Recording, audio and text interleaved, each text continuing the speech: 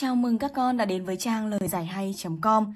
Trong video ngày hôm nay thì chúng mình sẽ cùng với cô tìm hiểu bài ôn tập và bổ sung về các phép tính với phân số. Sách giáo khoa toán 5 cánh diều tập 1 trang 15. Cô có bài tập số 1.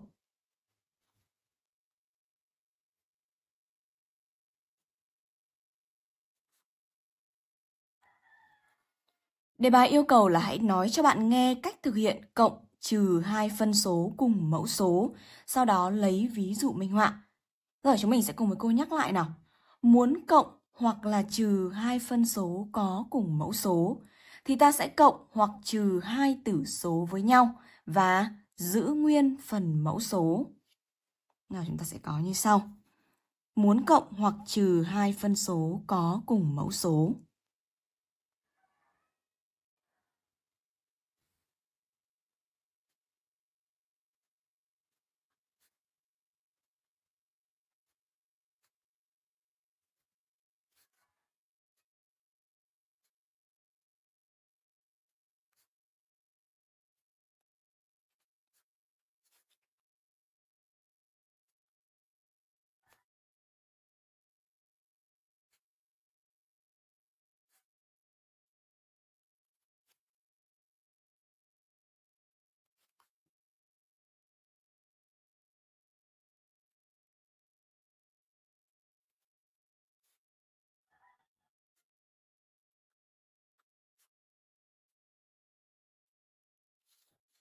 Ta cộng hoặc trừ hai tử số với nhau và giữ nguyên mẫu số.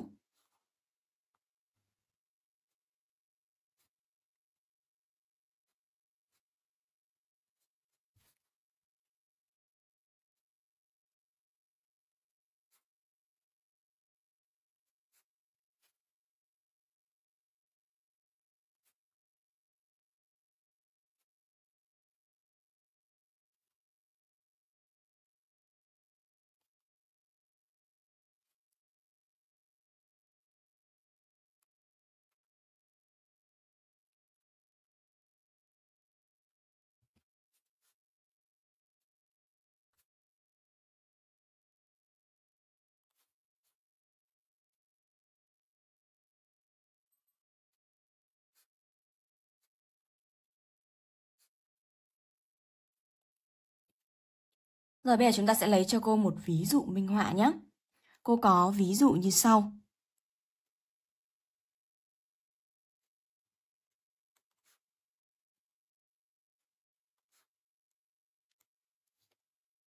hai phần chín cộng năm phần chín bằng bảy phần chín.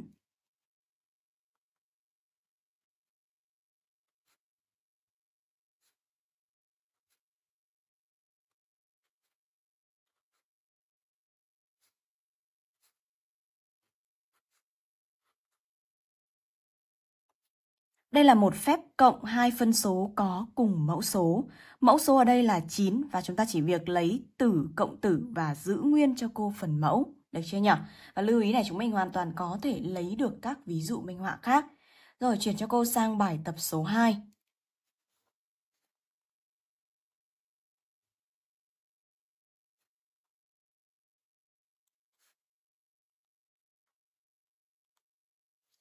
Đề bài yêu cầu tính A nhỏ. Cô có phép tính 4 phần 3 cộng 5 phần 6.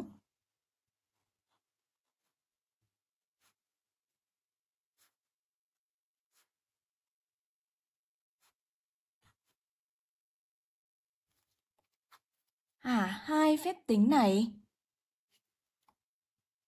Hai phân số này thì không có cùng mẫu số.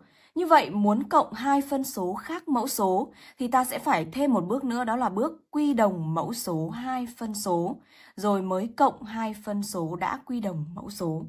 Rồi như vậy đầu tiên là chúng mình sẽ phải quy đồng cho cô trước này. Mẫu số chung ở đây sẽ là 6. Vậy với phân số 4 phần 3, cô sẽ thực hiện nhân cả tử số và mẫu số với 2. Cô được phân số mới là phân số 8 phần 6.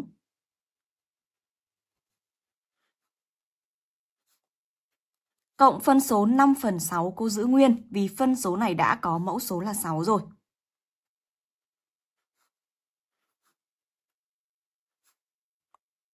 Đến đây thì lại giống như bài tập số 1, muốn cộng hai phân số có cùng mẫu số thì ta thực hiện cộng hai tử số với nhau và giữ nguyên cho cô phần mẫu số.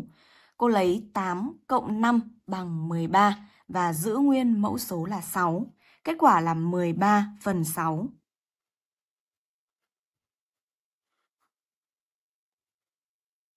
Tương tự như vậy với ý B, phép trừ cũng như thế nhé. 2 phần 5 trừ 3 phần 10.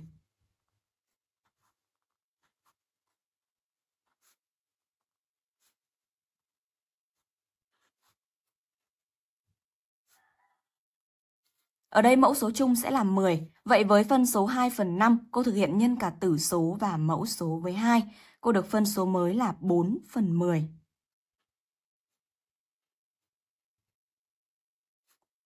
Trừ đi phân số 3 phần 10 cô giữ nguyên. Muốn trừ hai phân số có cùng mẫu số thì chúng ta sẽ lấy tử số của phân số thứ nhất này, trừ đi tử số của phân số thứ hai. 4 trừ 3 được 1 và giữ nguyên phần mẫu số là 10. Kết quả là 1 phần 10.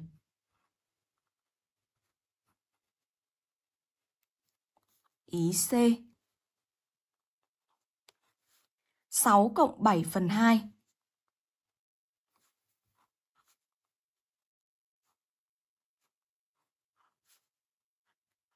Sáu ở đây chính là 6 phần 1. Vậy cô chọn mẫu số chung là 2. Với phân số 6 phần 1 thì chúng ta sẽ nhân cả tử số và mẫu số với 2. Cô được phân số 12 phần 2.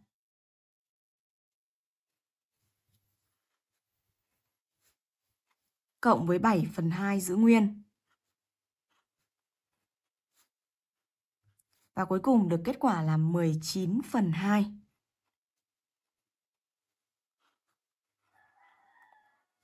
Cuối cùng là ý D. 9 phần 2 trừ 1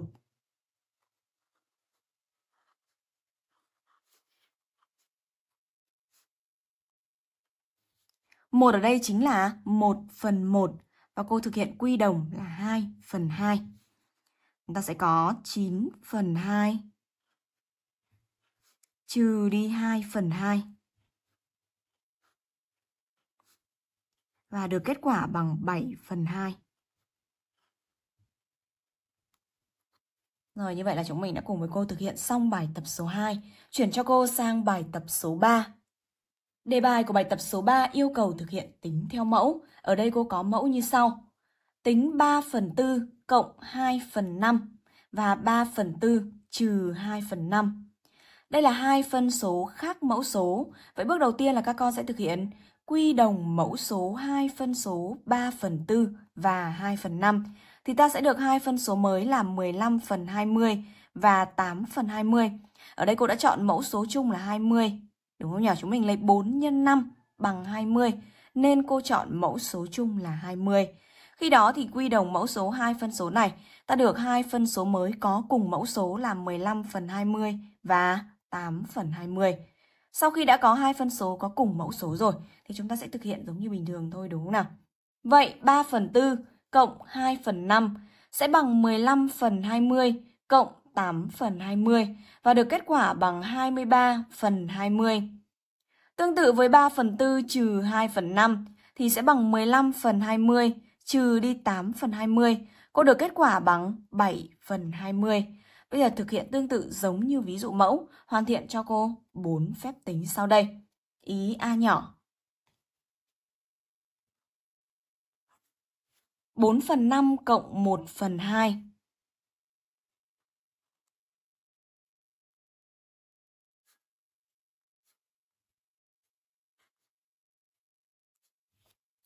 Bước đầu tiên là các con sẽ đi quy đồng cho cô mẫu số 2 phân số 4 phần 5 và 1 phần 2.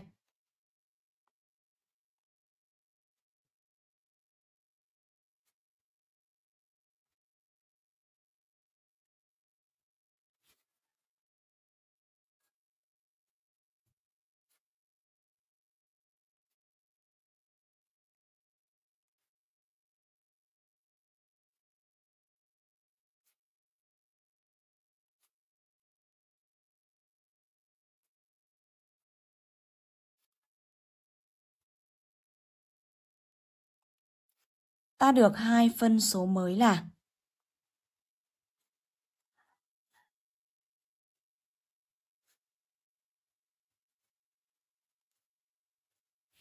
Ở đây cô chọn mẫu số chung là 10. Vậy với phân số 4 phần 5, cô nhân cả tử số và mẫu số với 2, thì cô sẽ được phân số là 8 phần 10.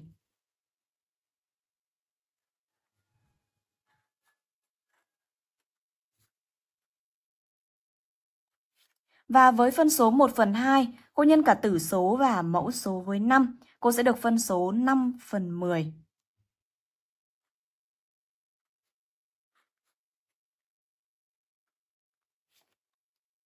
Sau khi quy đồng xong thì chúng ta sẽ thực hiện cộng hai phân số này lại với nhau. 4 phần 5 cộng 1 phần 2.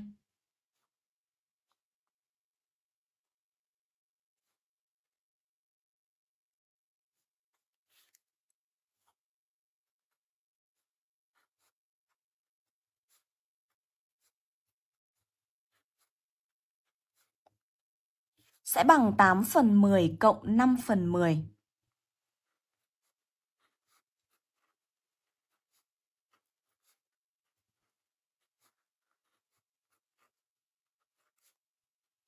Và cô được kết quả cuối cùng bằng 13 phần 10.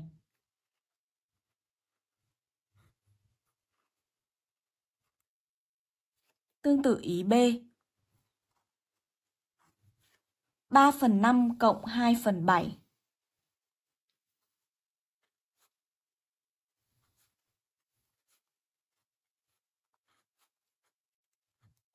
Đầu tiên là cô sẽ thực hiện quy đồng mẫu số hai phân số 3 phần 5 và 2 phần 7.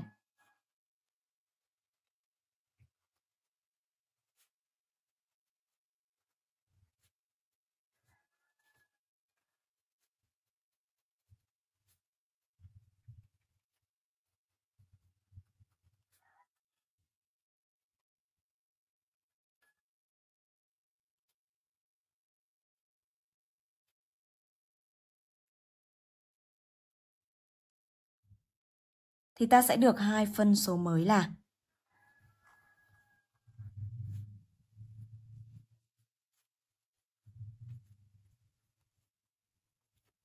Ở đây cô có 5 x 7 bằng 35. Vậy nên mẫu số chung ở đây sẽ là 35. Với phân số 3 phần 5, cô nhân cả tử số và mẫu số với 7. Cô được phân số mới là 21 phần 35.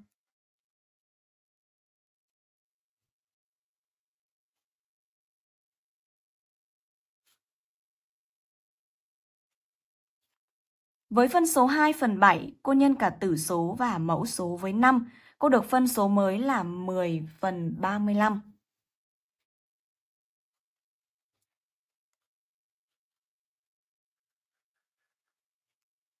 Sau khi quy đồng xong thì chúng ta sẽ cùng với cô thực hiện cộng hai phân số này lại với nhau.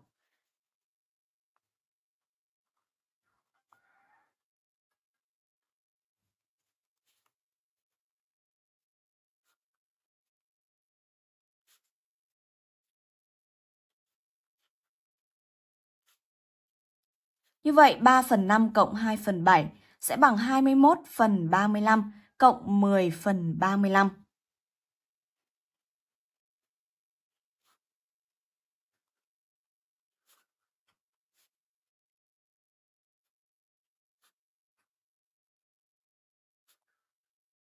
Và chúng mình sẽ được kết quả cuối cùng là bằng 31 phần 35.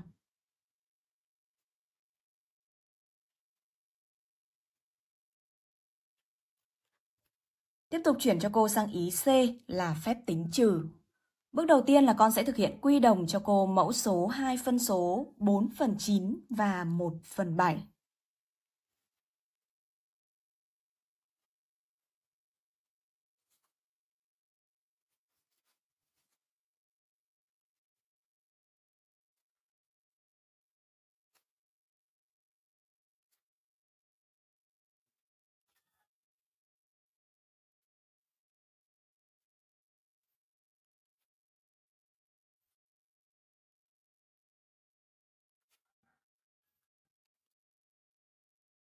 thì ta sẽ được hai phân số mới là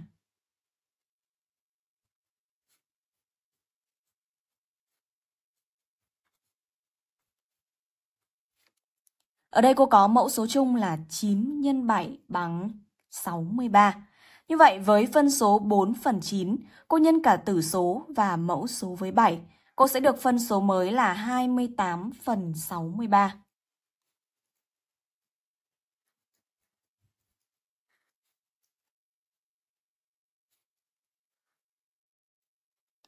Còn với phân số 1 phần 7, cô nhân cả tử số và mẫu số với 9. Cô được phân số mới là 9 phần 63.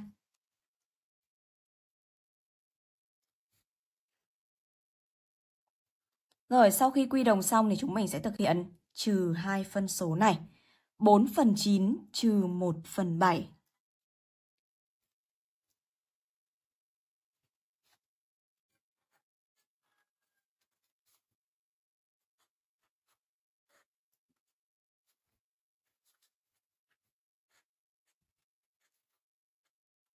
Sẽ bằng 28 phần 63 trừ 9 phần 63.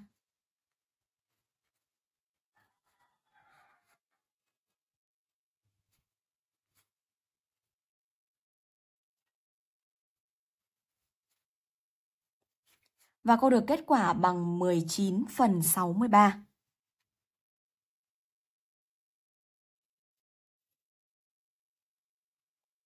Cuối cùng chuyển cho cô sang ý D nào.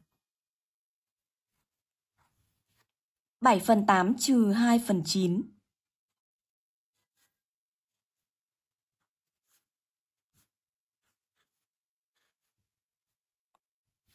Bước đầu tiên là quy đồng mẫu số hai phân số 7 phần 8 và 2 phần 9.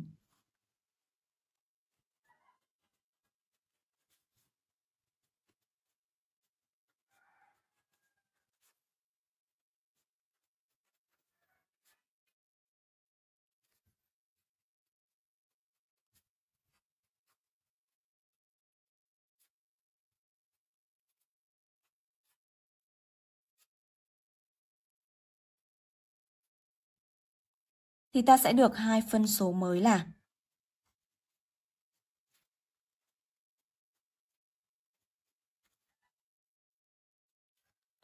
Ở đây cô sẽ có mẫu số chung là 8 x 9 bằng 72. Vậy với phân số 7 phần 8, cô nhân cả tử số và mẫu số với 9. Cô được phân số mới là 63 phần 72.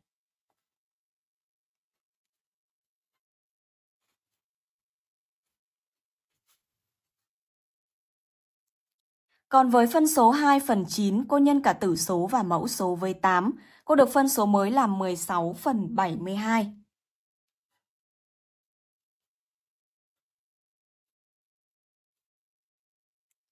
Như vậy cuối cùng là chúng mình sẽ thực hiện trừ hai phân số.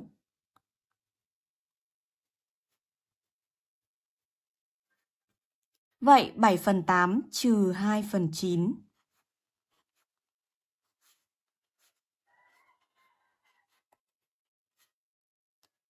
sẽ bằng 63 phần 72 trừ 16 phần 72.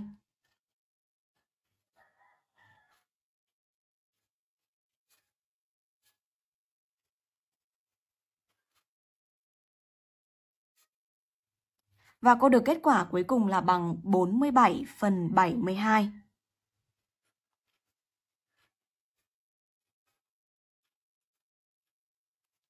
Đó là bài tập số 3. Chúng mình cùng với cô chuyển sang bài tập số 4 nào. Lan Anh làm một hỗn hợp từ gừng, tỏi, ớt để pha chế thành thuốc phun cho rau tránh sâu bệnh. Biết rằng 2 phần 5 hỗn hợp là gừng, 1 phần 6 hỗn hợp là tỏi. Hỏi phân số nào chỉ số phần hỗn hợp là gừng và tỏi. À, số phần hỗn hợp là gừng và tỏi thì sẽ bằng số phần hỗn hợp là gừng cộng với số phần hỗn hợp là tỏi. Có nghĩa là chúng ta sẽ có phép tính là 2 phần 5 cộng với 1 phần 6. Rồi bây giờ chúng ta sẽ có cho cô phần bài giải như sau.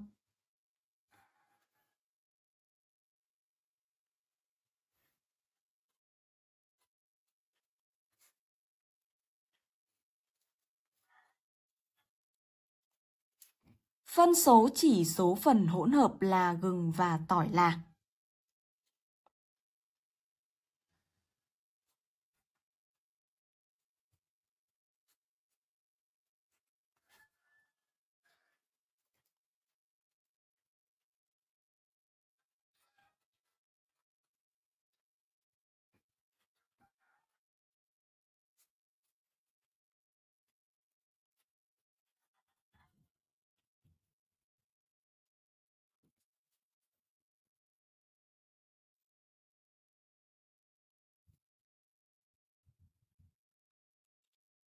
cô có phép tính 2 phần 5 cộng 1 phần 6.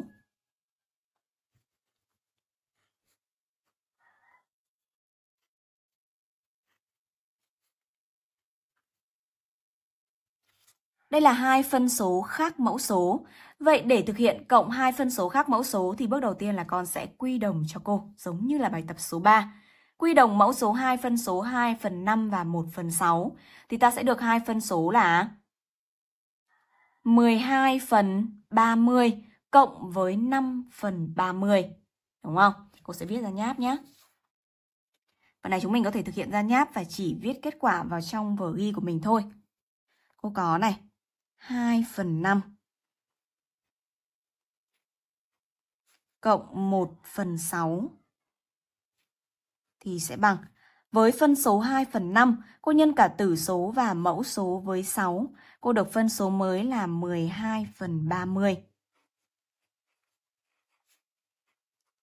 Với phân số 1 phần 6, cô nhân cả tử số và mẫu số với 5. Cô được phân số mới là 5 phần 30.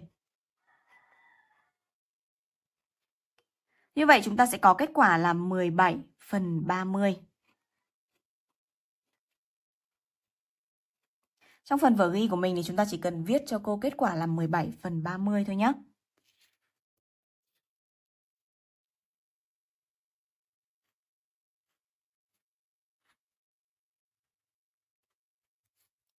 Đơn vị ở đây sẽ là hỗn hợp.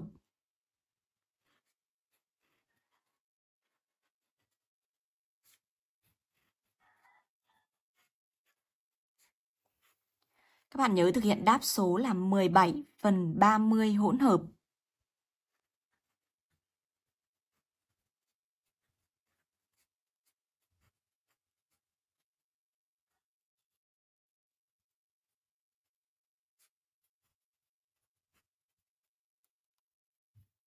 Chuyển cho cô sang bài tập tiếp theo nào. Đề bài của bài tập số 5 yêu cầu là tính. Ở đây cô có các phép nhân và phép chia. Chúng ta sẽ cùng với cô nhắc lại một chút nhé.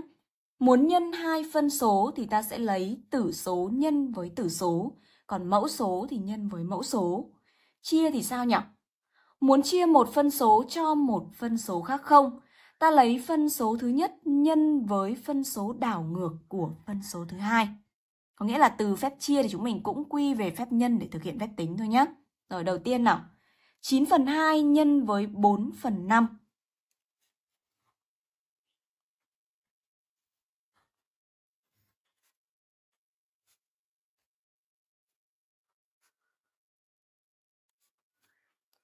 Thì sẽ bằng Cô lấy tử nhân tử, mẫu nhân mẫu. 9 x 4 bằng 36, 2 x 5 bằng 10. Cô được kết quả là 36 phần 10.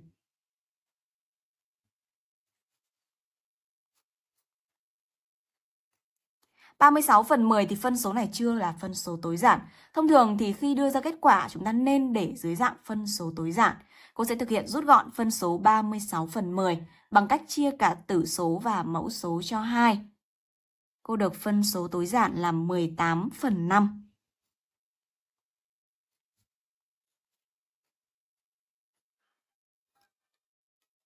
Phép tính thứ hai là 8 phần 7 chia 2 phần 3.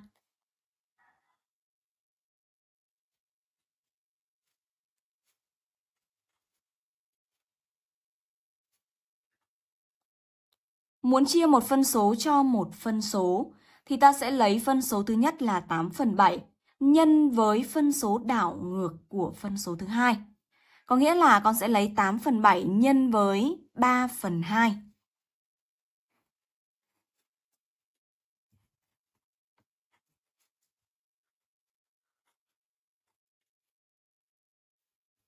Đến đây cô sẽ được kết quả bằng 24 phần 14.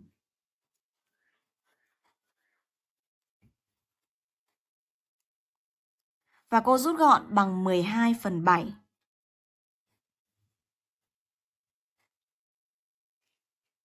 Phép tính thứ ba 4 x 5 phần 9.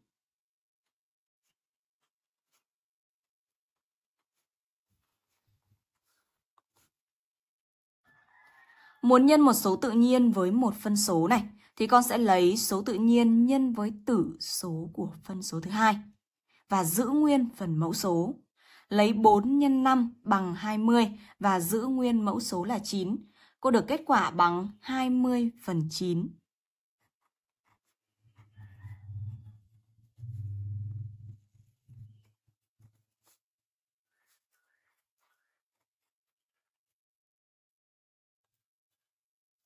Phép tính cuối cùng là 3 phần 8 chia 2.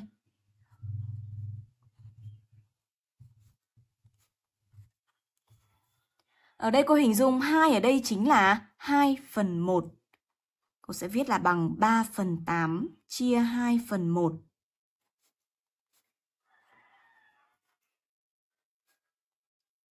Sau đó chúng mình sẽ đổi về thành nhân với phân số đảo ngược là 3 phần 8 nhân 1 phần 2.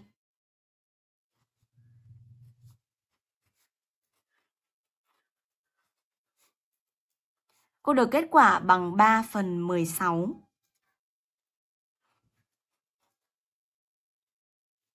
Rồi, đó là bài tập số 5. Chúng mình cùng với cô chuyển sang bài tập số 6. Đề bài của bài tập số 6 yêu cầu thực hiện tính theo mẫu. Ở đây cô có ví dụ mẫu là 9 phần 10 nhân 5 phần 6. À, muốn nhân hai phân số thì con sẽ lấy tử số nhân với tử số và mẫu số nhân với mẫu số. Chúng mình sẽ viết được là bằng 9 nhân 5 trên 10 nhân 6. Đến đây chúng ta sẽ thực hiện tách cho cô phần tử số và mẫu số như sau. Tính theo mẫu. Ở đây cô có ví dụ mẫu là 9 phần 10 nhân 5 phần 6. Muốn nhân hai phân số thì con sẽ lấy tử số nhân với tử số và mẫu số nhân với mẫu số. Nên cô sẽ viết được bằng 9 nhân 5 trên 10 nhân 6. Sau đó các bạn sẽ thực hiện tách cho cô phần tử số và mẫu số như sau này. 9 ở đây cô sẽ viết được là bằng 3 nhân 3. Nhân 5 chúng mình giữ nguyên nhé, cô không sử dụng đến. Ở dưới mẫu, 10 cô tách thành 5 nhân 2. Còn 6 thì cô sẽ tách thành 3 nhân 2. Sau khi đã tách mẫu số và tử số thành tích của các thừa số rồi, thì các bạn sẽ thực hiện chia cả tử số và mẫu số cho các thừa số chung. Ở đây cô sẽ có 3 với 3 là các thừa số chung này, chúng mình có thể gạch bỏ đi. Tương tự như vậy, 5 với 5. Những số mà đã gạch bỏ đi rồi thì có nghĩa là chúng bằng 1. Thì con sẽ viết được là bằng 3 nhân 1 nhân 1 là bằng 3. 1 nhân 2 nhân 1 nhân 2 là bằng 4. Đúng không? Rồi, bây giờ chúng mình sẽ thực hiện tương tự như vậy. 4 phần 3 nhân 9 phần 10.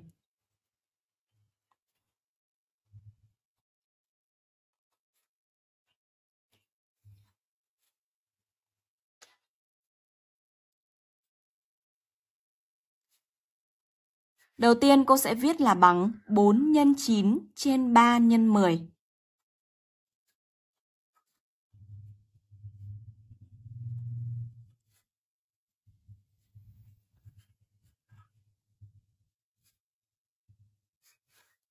Sau đó con sẽ thực hiện tách cho cô tử số và mẫu số thành tích của các thừa số nào. Ở đây 4 thì cô có thể viết là bằng 2 x 2.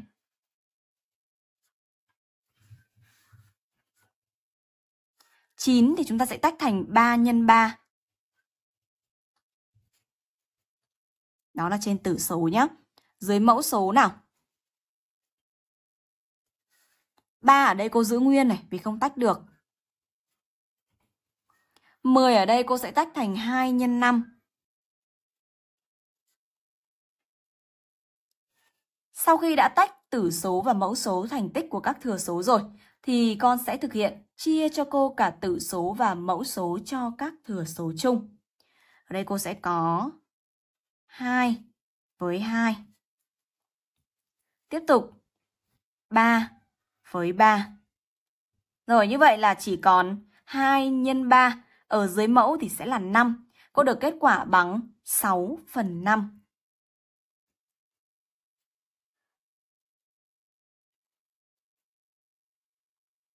Cách này rất là đơn giản đúng không? Thay vì chúng mình nhân cả tử số và mẫu số trực tiếp luôn, sau đó mới đi rút gọn thì cô sẽ rút gọn trước, sau đó chúng mình sẽ có luôn kết quả là phân số tối giản.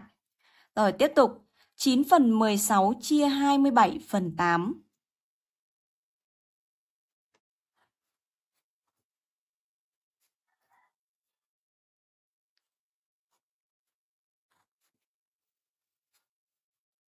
Vì đây là phép chia nên đầu tiên là cô sẽ đổi về thành phép nhân trước này. Bằng 9 phần 16 nhân với phân số đảo ngược của phân số thứ hai là 8 phần 27.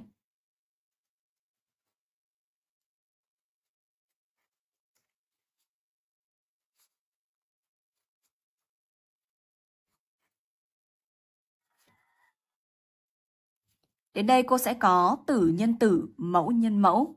9 nhân 8 phần 16 nhân 27.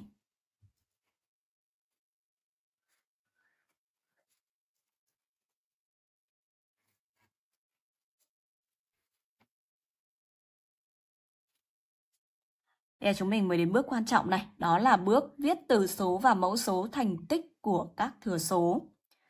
Ở đây với tử số là 9 x 8 thì cô sẽ giữ nguyên, bởi vì cô thấy rằng ở mẫu số này, 16 tách thành 8 x 2, còn 27 thì tách thành 9 x 3, có xuất hiện thừa số 9 và thừa số 8, rút gọn được với tử số rồi, nên chúng ta không cần tách phần tử số nữa nhé.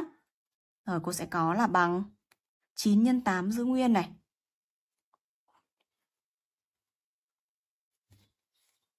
Chúng ta chỉ tách dưới phần mẫu số thôi. 16 tách thành 8 nhân 2.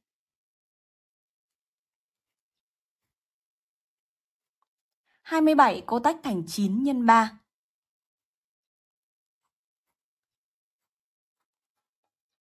Vậy chúng ta sẽ có này.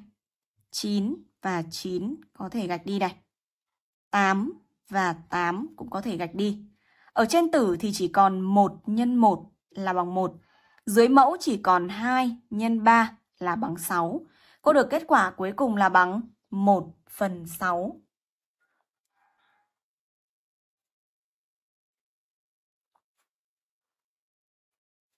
Rồi xong bài tập số 6, chúng ta sẽ cùng với câu chuyển sang bài tập số 7 nào.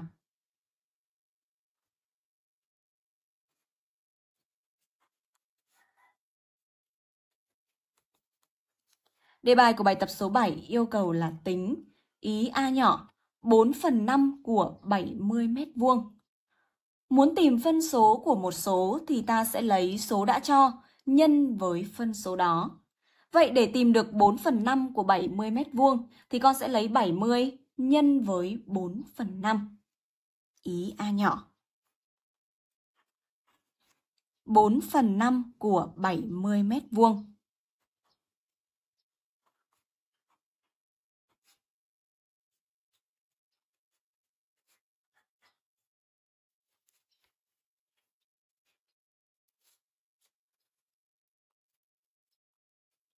Thì sẽ là 70 nhân với 4 phần 5.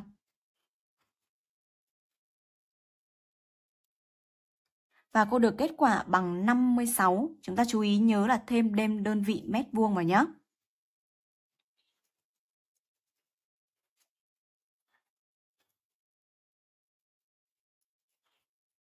Ý B 3 phần 10 của 250 kg.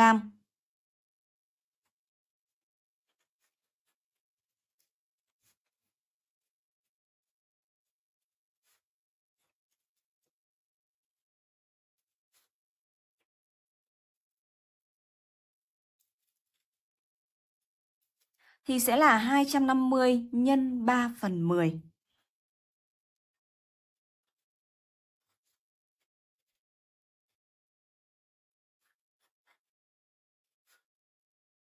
Cô được kết quả bằng 75, nhớ là viết thêm đơn vị kg.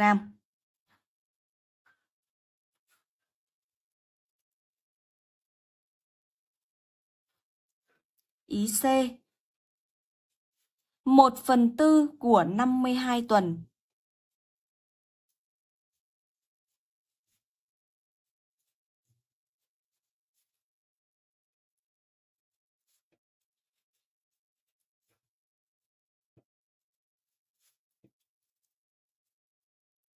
thì sẽ là 52 nhân 1 phần 4.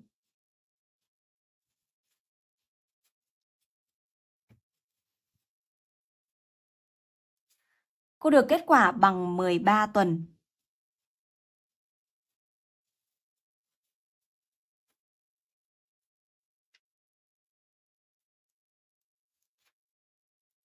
Chuyển cho cô sang bài tập số 8. Cô có đề bài của bài tập số 8 như sau. Một nhà máy sản xuất nước khoáng đã sử dụng máy dò tự động để phát hiện lỗi của sản phẩm. Cứ 1 phần 25 giây thì máy kiểm tra được một chai nước khoáng. Hỏi trong một phút, máy dò đó kiểm tra được bao nhiêu chai nước khoáng? Đầu tiên là chúng mình sẽ thực hiện cho cô phần tóm tắt trước nào.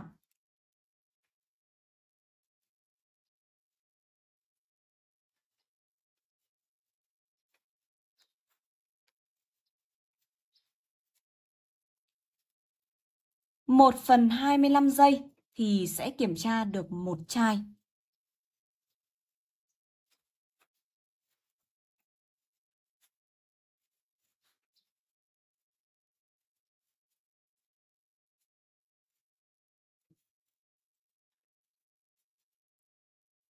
Hỏi trong một phút kiểm tra được bao nhiêu chai?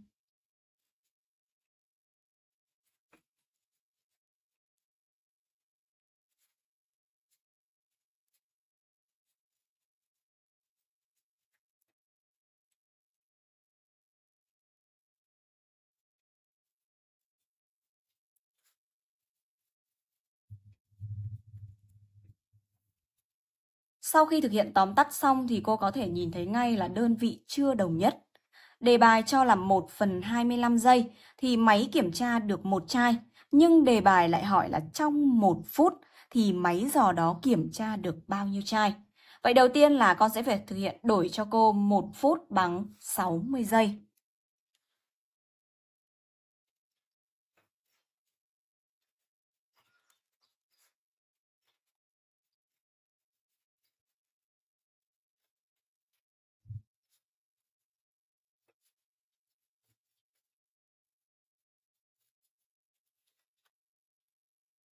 Rồi, để tìm được xem là số chai nước khoáng máy dò kiểm tra trong một phút là bao nhiêu, thì con sẽ lấy 60 chia cho số thời gian máy kiểm tra một chai nước khoáng.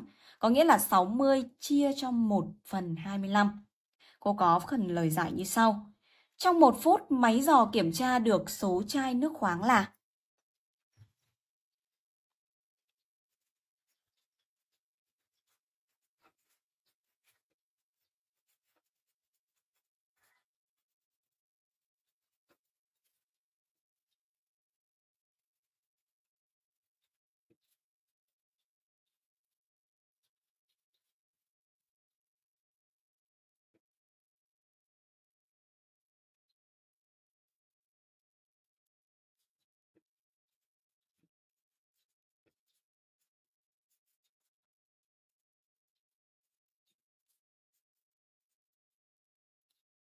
Cô có phép tính 60 chia 1 phần 25.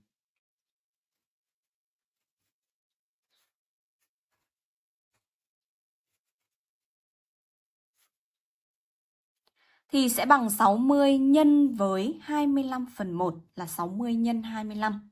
Cô được kết quả bằng 1.500.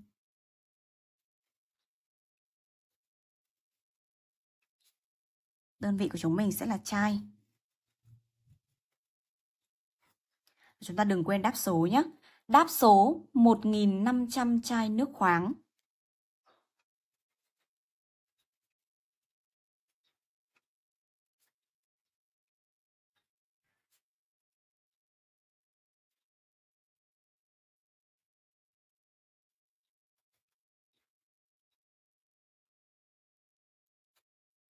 Rồi như vậy là chúng mình đã cùng với cô thực hiện xong bài tập số 8 và đây cũng là bài tập cuối cùng trong tiết học ngày hôm nay. Hẹn gặp lại các con trong các video tiếp theo. Cô chào tất cả các con.